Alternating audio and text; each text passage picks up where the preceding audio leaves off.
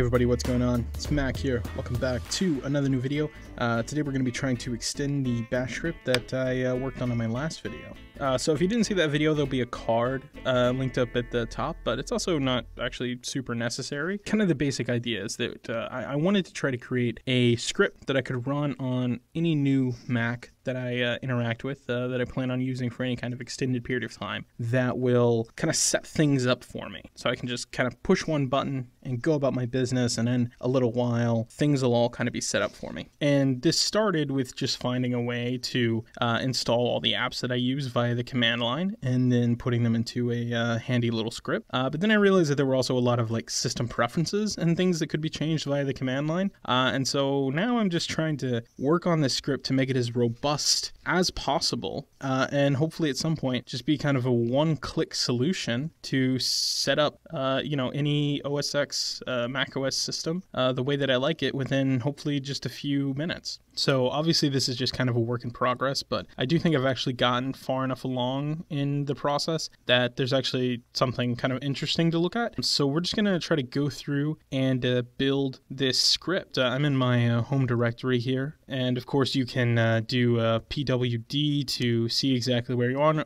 on your computer, and then ls to list the files. Those are kind of two handy commands if you're not familiar with them. I'm gonna create this script in the home directory, uh, and that's just gonna be users slash whatever your username is. And I'm just storing it here because it's super easy to run it straight from the command line uh, once you have it set up. Uh, so we're going to go ahead and just create a new file here. Uh, we'll use the touch program for that. So you would type in touch and then the name of whatever you want your file to be. I'm just going to call this like Mac setup. And you can give it a file extension if you want to. I'm going to not um, just because if we don't give it a file extension, it'll work either way. Uh, and whenever we end up making this script executable a little later on, uh, we can just double click to run it, and we don't actually have to run it from the command line if we don't want to do it that way. So uh, I'm going to go ahead and do that. And you know what? Actually, we'll just work uh, kind of outside of the command line for the first little bit here. So you can see I've got a new uh, file here. It's called uh, Mac Setup,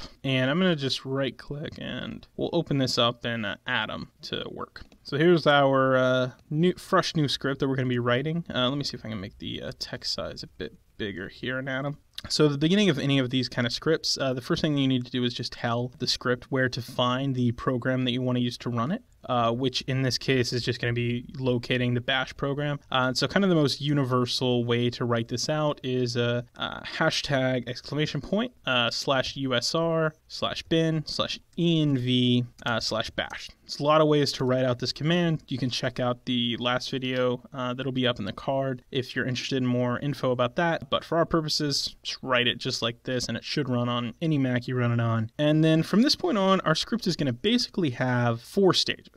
First off, we're going to update some system preferences. And so that's going to consist of, first of all, just uh, listing the terminal commands to change those preferences. And then we're also going to have to uh, restart uh, the affected apps in order to get them to work. Uh, I'm pretty sure it's affected, not affected. Uh, and then we're going to install apps. To do that, we're going to first off use Homebrew just to install kind of the basic apps and command line stuff. And then we're going to use Casks to install more kind of mainstream apps. Uh, and then we're also going to use a command line replacement for the Mac App Store to install pretty much all of the other apps that you can't get via Casks, or at least in my case. Uh, and then that is actually it. I organized this weird. All right, so up here right at the top, I want to set up a few variables. I'm going to do uh, brew equals and then open and close uh, parentheses. Uh, and then we'll do MAS equals open and close parentheses. And then we'll also do casks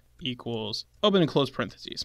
Uh, we're setting these up because these three variables are going to kind of control our three installers that we want to use. Uh, again, this whole bottom section is just installing apps, and we're installing them from three different locations uh, the Mac App Store, Homebrew, and then uh, the Casks add on for Homebrew. In all three cases, we're going to have at least more than one app that we want to list here, and this is going to make that whole process easier. Um, so we'll go ahead and type these, and then I'm just going to skip them and come back a little bit later because I want to go ahead and mess with our system preferences. So first thing we'll do, of course, is list all of the commands that we want to use. I was previously keeping them in a notes document because again, there were a whole bunch of commands that I use fairly regularly. And I just kind of keep track of them. Uh, so I'll try to maybe go over what they do pretty quickly, I guess. Um, this one up here, this first one is going to disable the shadow that you get, the drop shadow that you get on some screenshots. Uh, this one here will change the default screenshot file format to JPEG. Uh, this one here, I don't actually remember. Uh, we've got one to disable uh, animations in Mail. Uh, we have one to disable that weird functionality where every time you try to save something, it will try to force you to save it in iCloud. We've got a couple other ones here. This is an interesting one. It will um, remove the auto hide uh, kind of time on delay on the dock, um, which that's super annoying. So good to get rid of that. Oh, this one's a fun one. This uh, here uh, will enable that kind of power chime that you get on iOS whenever you plug in your phone to charge. I don't know if you're going to be able to hear this, but I'll do it anyways.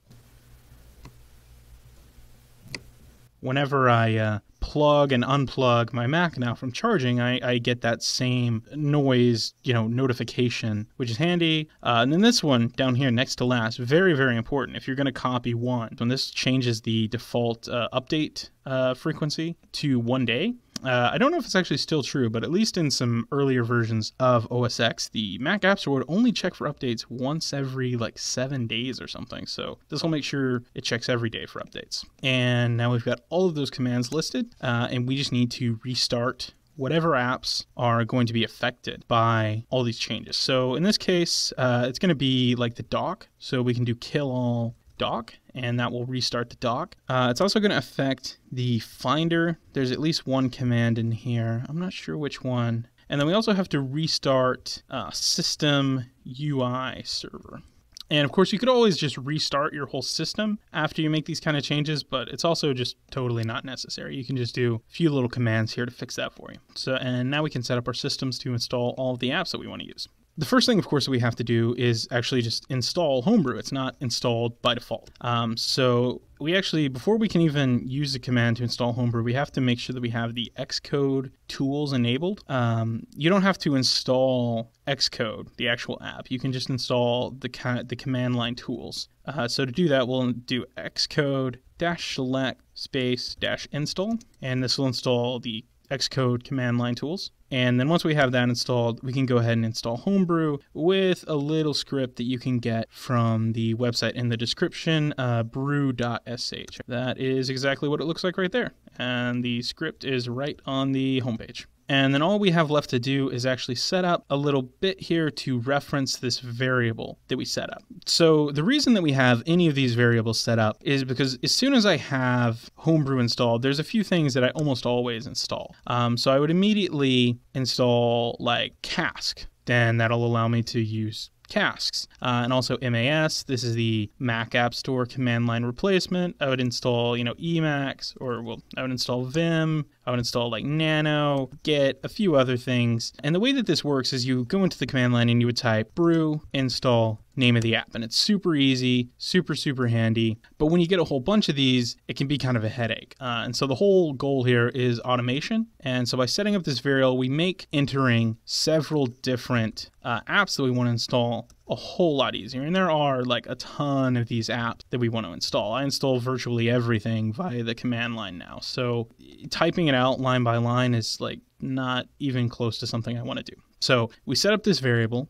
And then if we come down here below Homebrew, we're going to type in that line of code that we, we would usually to use to install apps. So brew install. And then rather than typing out the name of an app, we just have to reference this variable. And we do that by saying dollar sign, uh, squiggly bracket, uh, and then inside of that, we'll type the name of the variable. So in this case, it's brew and open and close the uh, square brackets and inside of that you want to put the at sign and so now whatever ends up in this variable is what's going to be fed to this line of code so when we type out brew install you know, and then it's gibberish to reference the command up here. What we're really saying is brew install cask, brew install vim, brew install nano, Git YouTube, uh, download or go on, uh, you know, until we get all the apps installed. Uh, so that's actually exactly how uh, the process works for casks and our Mac App Store replacement. So we would do brew cask install. This is how we install any of our casks, and then we'll reference the cask that we set up. Uh, so we'll do the dollar sign, squiggly bracket,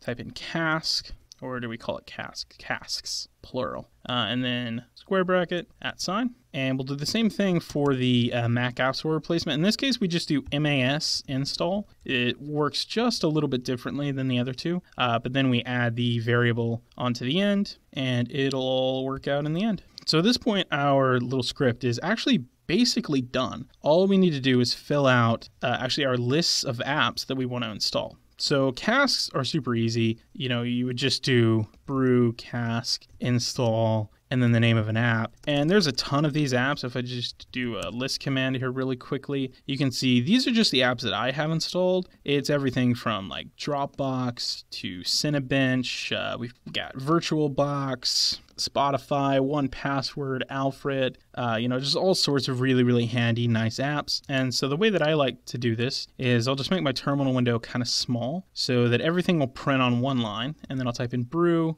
cask list. And this will list every single app that I have installed via cask.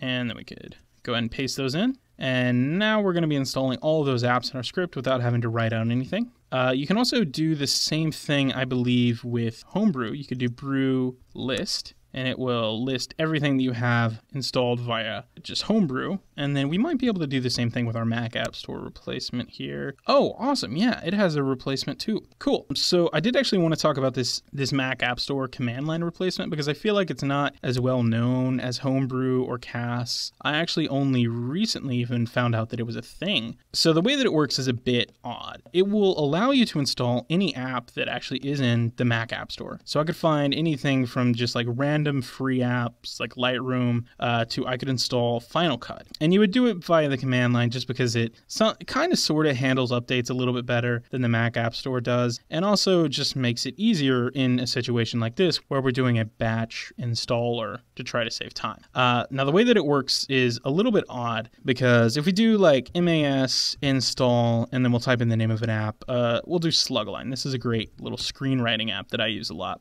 uh, we get an error uh, because we actually have to use this random app ID to install apps. We can't just use the name of an app. So there's a few different ways to get a hold of this. If you search for any app that you want, um, so this is that same app that we were just looking at, you can actually uh, copy the link to the app. And then if you were to paste it into a browser, you would be able to kind of dissect the link and find the ID right up here. Uh, you know, I'll just say ID and then a whole bunch of numbers. Uh, and that's one way to do it. But also, if you're already in your uh, terminal, you could just type MAS search and then the name of an app, and it'll always pull up the app ID along with the version and the app name. So it's, it's a little funky, but basically the idea is you need to get a hold of these app ID numbers rather than just the name of the app. Uh, so the way that I like to do this is I'll type out the app ID. I'll say, know, let's say that's the app ID, uh, and then I'll do a comment here, which you can do by just doing a hashtag, and then I'll type in the name of the app below it, just so that I can make sure that I'm kind of keeping track of things in my uh, script here whenever I come back to edit it.